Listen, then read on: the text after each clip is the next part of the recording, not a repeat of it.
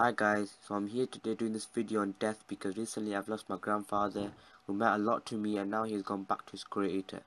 So hope you guys learn something from this video and let's get started.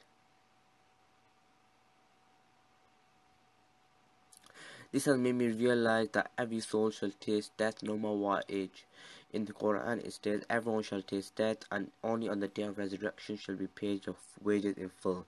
And whoever is removed away from the fire and admitted to paradise indeed is successful. The life of this world is only enjoyment of deception.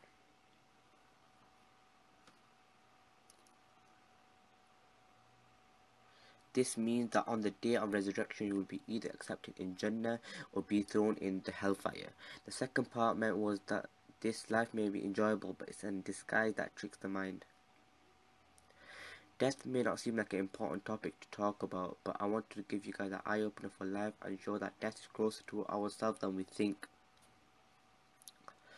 We are on this earth for a purpose and everyone may not know what the purpose may be but it's not hard to understand. I think the purpose of life is to serve our parents who gave us life, even brought us up without any needs and also serve the creator of everything in our life, Allah subhanahu wa ta'ala and hopefully would have done a good amount of deeds in life to help us reach our goal inshallah be granted a place in Jannah.